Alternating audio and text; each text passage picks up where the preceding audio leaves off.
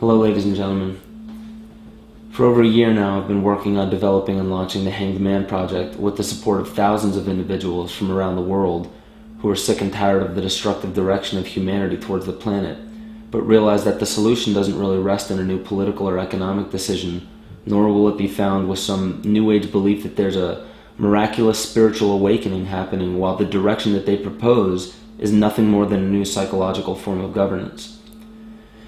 While looking at the current condition of the planet, just in the past hundred years, humanity has depleted over 60% of the world's grasslands, forests, topsoil, lakes, rivers, and farms, most of it irreversible.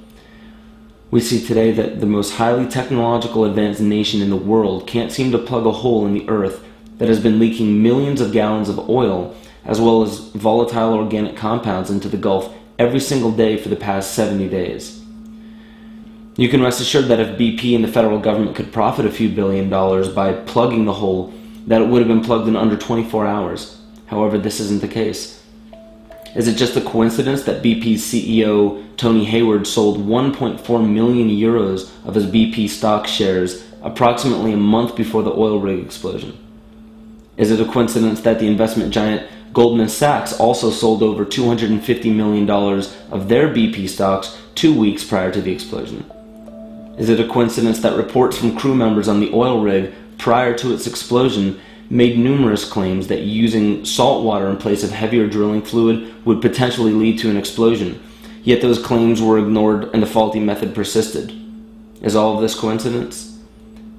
There are many major media events that involve fire and casualties that occur frequently on or around April 20th, including the Branch Davidians disaster in Waco, the Oklahoma City bombing, the Columbine school shooting, uh, Virginia Tech school shooting, and many others, just to name a few.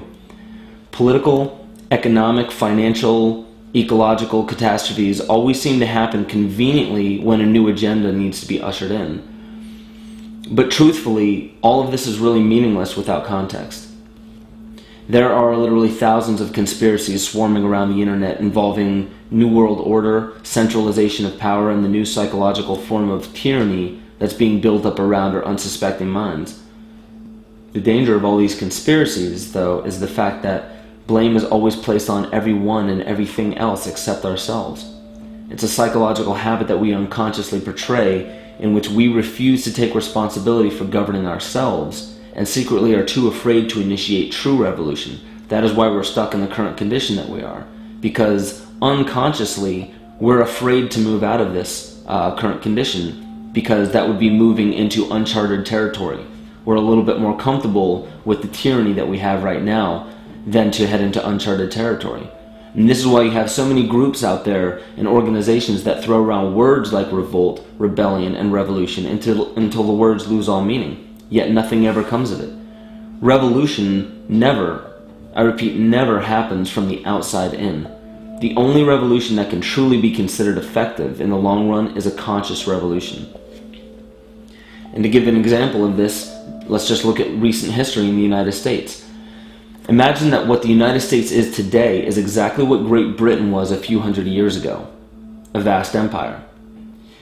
A group of revolutionaries with the intention of a free and independent future for their children divorced themselves from their tyrannical government in an act of what Great Britain considered to be terrorism. So these so called terrorists were the forefathers of the very country that over 300 million citizens now occupy with great pride the United States. They set up a republic in which the people were the kings and queens, sovereign and free from all rulership except for that of the divine creator or whatever they chose the divine creator to be. All forms of government were intended to be under the control of the people, not the other way around. We, the people, were the supreme kings. So, why then, in only 200 short years, is humanity and the planet that we inhabit in worse condition now than we've ever seen in history? It's not because there was a flaw in the US Constitution or some legal loophole. It has nothing to do with the physical revolution that took place because the physical revolution was actually successful. However, the people over the past, over the uh, next 200 years from the revolution on that were building this country were still just as psychologically enslaved as they were before. They weren't aware of the true nature of slavery, which is conscious and not physical. So they were psychologically unprepared to govern themselves as kings and queens. So physically, they were kings and queens because the Constitution set it up that way. However, deep within their psyche and rooted within their hearts, they were still slaves. This is not allegory. This is not a symbolic story. This is factual. Primarily because we don't even understand how our thoughts and emotions operate or came to be, so we certainly can't comprehend where true slavery, or freedom for that matter, comes from. So, because of this, I will be launching the Hanged Man Project in the upcoming months, dedicated to liberation from all forms of slavery physical, energetic, legal, emotional, psychological, conscious, and spiritual. This project will support individuals who are bound by their legal contracts that finance the corporate monopolies. It will support individuals who are enslaved by their energetic addictions or emotional and psychological tyranny that's promoted primarily through the media or self infliction. But primarily, this will be the first public push for a conscious revolution that includes physical action. There is no more time to waste. The longer we sit idly by while our planet is being destroyed around us by the very monster that we created, the less chance that we have of having any planet to save in the long run. So there is a mailing list to sign up with at www.hangedmanproject.com. I'll be keeping in contact with any and all of you at the grassroots level who are willing to set up events in your local area to build communities to support this effort. I will attend as many of these events as possible to speak and support the cause, but not to lead it. This isn't my cause, this is not my revolution, because revolution doesn't belong to any specific individual like a corporation does. It belongs to the evolution and liberation of all life. As far as money goes, there are many videos and music projects that I produce that many people may support if they choose. But I'm making a very clear distinction right here the Hanged Man Project requires only the honest intentions of you, all of you. Keep your money. Spend it on healthy food. Spend it on protection and shelter for you and your loved ones. There are donation buttons on the website to support the necessary functions of this project, and the videos um, that have been created that are there to purchase are there to help spread the word if you choose. But I want to make it perfectly clear that aside from the music and the other ventures that I and the group Hyrosonic that I belong to, besides those ventures that we do to support ourselves and our families, absolutely everything I do in the name of supporting this project and spreading information to hopefully liberate humanity will always be absolutely free. I will not further the illusion that money is necessary for life to go on, because it's not. It may temporarily be beneficial, but what good does money do you when the planet can no longer bear fruit to feed its inhabitants?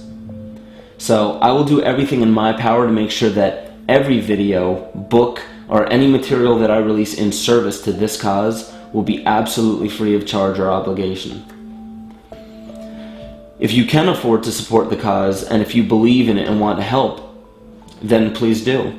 However, if you cannot, I don't want you giving anything that you can't afford to give up.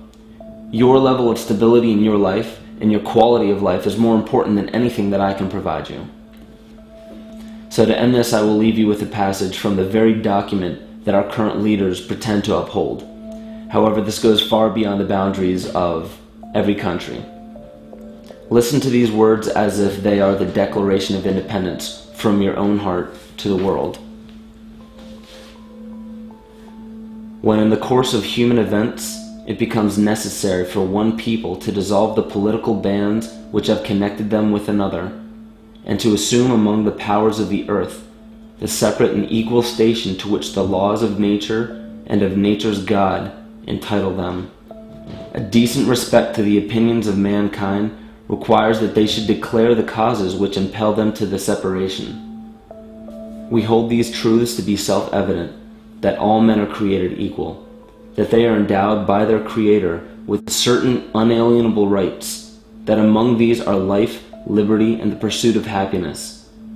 To secure these rights, governments are instituted among men, deriving their just powers from the consent of the governed.